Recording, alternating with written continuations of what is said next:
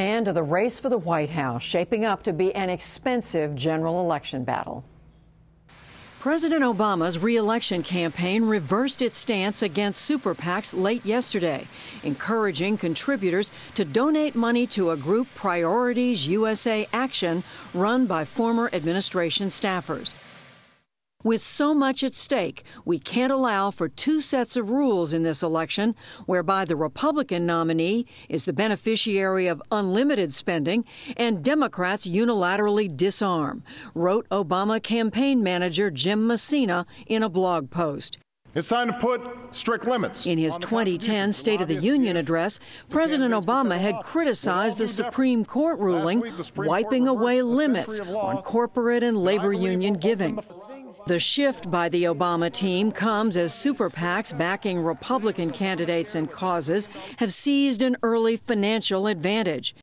Groups supporting Republican presidential candidates had raised more than $34 million combined by the end of last year. Another conservative super PAC, American Crossroads, has hauled in more than $18 million. By contrast, the pro Obama PAC has brought in less than $5 million. But the president's own campaign has received more money than all the GOP contenders combined. The administration's change of heart also comes on a day when Republicans are voting in three more states, and as the leading GOP candidate, Mitt Romney, continues to lambast President Obama's record. And for more on the president's reelection bid, we turn to his senior campaign strategist, David Axelrod. David, thank you very much for joining us. First on this uh, reversal on uh, whether to encourage your donors to give money to the so-called super PACs. Does this mean you don't think you can win this election based on the contributions of ordinary Americans?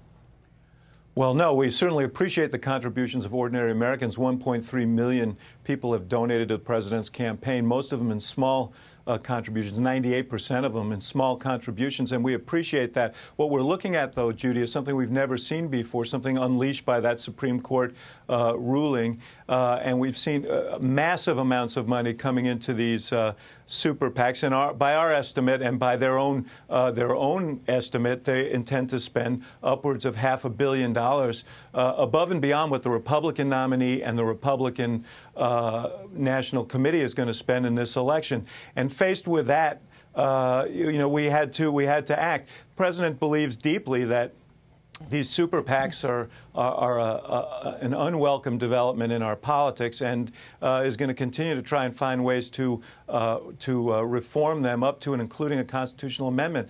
But right now, these are the rules, and the question is: Are we going to have two sets of rules, or are we going to have one set uh, of rules? And we couldn't we simply couldn't sit by and allow five, six, seven hundred million dollars of negative ads uh, uh, be run against us with, with no one on the other side responding. But it was pretty clear from the outset that this was going to be the case. A lot of money was going to be raised.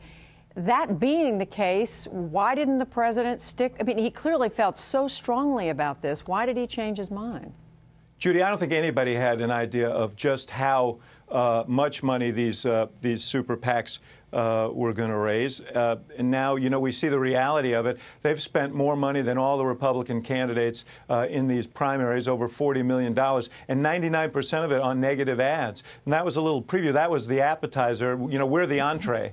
And they're going to spend multiples of that to try and defeat uh, the president, and uh, it, it, is, it is simply uh, it is not wise and it's not it's not right for us to sit by with our hands tied behind our back and allow that the election to be hijacked by these by these groups. Let me ask you about the economy. There was a good report uh, that came out last Friday on jobs, the uh, unemployment rate, but a number of respected economists say they don't expect that trend to continue. Are you, in effect, David Axelrod, sort of held hostage every month to these unemployment numbers? Well, first of all, let's stipulate that uh, the most important thing isn't our link to the unemployment rate, but to the, you know, how the American people are experiencing this economy. We're fighting hard to increase. We've had 23 straight months of private sector job growth. That's accelerating. We want to continue to accelerate that because that's that's good for our country, uh, and obviously, uh, you know, it, it is good for us as well. Uh, but uh, and and in terms of the economists' projections. I think one thing that we've learned over the course of these years is that uh, no one really has a crystal ball on these things, and I've seen more robust projections, less robust. The best thing for us to do is keep our nose to the grindstone, keep pushing. Uh, keep pushing forward and taking the steps we think uh, will help accelerate the economy. Mitt Romney, uh, former governor of Massachusetts, uh, still has a primary fight on his hand, but your campaign has pretty much been treating him as the eventual nominee. Um, what, what are the strengths that you see in Mitt Romney that make you assume that he will be?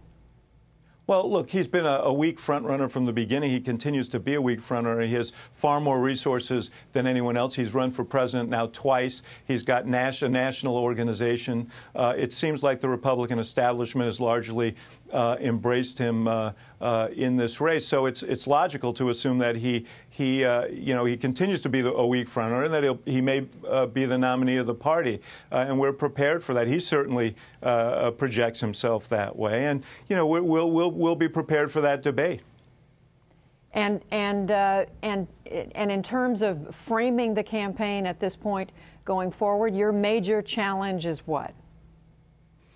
Uh, well, look, we're, we're going to project a positive vision for how we move forward as a country and re- rebuild, our, not just regain the jobs we've lost, but rebuild an economy in which the middle class is growing and not shrinking, in which people who work hard can get ahead, in which people can look forward to a better future for their kids. That's how we measure progress in the economy. Uh, and there's going to be a very distinct uh, uh, uh difference between the way we approach it and the way the folks on the other side do, and particularly Governor Romney, who seems to believe that if we just go back to what we were doing and cut taxes for the very wealthy, uh, cut regulations on Wall Street, that somehow uh, we'll all profit from that and the economy will grow. Well, we just tested that proposition and it failed. The administration decision to, uh, to require uh, religious uh, charities, universities, and others, hospitals, to include contraceptives in the health services they provide. It has created a huge firestorm in the leadership of the Catholic Church and other religious leaders. You said earlier today uh, in an interview, David Axelrod, that the administration would work with these institutions uh, to implement this policy. What does that mean? Does that mean you're prepared to give them some sort of an out? Well, Judy, let, let, let's back up and do uh, just recite a little history of how we got to where we are. Uh, the Institute of Medicine recommended to the Health and Human Services uh, Secretary Sebelius uh, that uh, contraceptive services be part of the package that are in every woman's insurance package, ins- insurance policy as preventive care. She added an exemption for religious uh, institutions for churches and their employees. The question is does that extend to hospitals? Does that extend to universities where, uh, where many people work who aren't, or aren't even Catholic?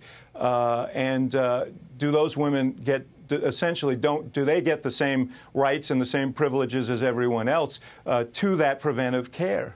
And uh, you know, we believe strongly that that should be the case. And in fact, that's the policy in 28 states today. So what we've said is we're going to have a year's uh, period of time in which to transition to this, and that'll give us a chance to look at what these other how this is implemented elsewhere, uh, how we can uh, how we can implement it here in the in the in the best and fairest way, but. Uh, certainly advancing the principle that uh, women deserve uh, access to contraception, uh, and uh, the, those women, those teachers, nurses, janitors and so on who, who work in these institutions uh, deserve access just like everybody else. But very quickly to clarify, are you saying there may be some exceptions? I'm, I'm, saying that uh, there are models all across the country that can be emulated, including, by the way, in Massachusetts, uh, which was in place when Governor Romney was there, and in Georgia, which has no exemptions, uh, where uh, Speaker Gingrich is from. Uh, these policies have been in place. Half the half the country has these policies, and we should be able to learn from that in implementing this and move forward. David Axelrod, senior strategist uh, to the President Obama reelect campaign. Thanks very much. Good to be with you.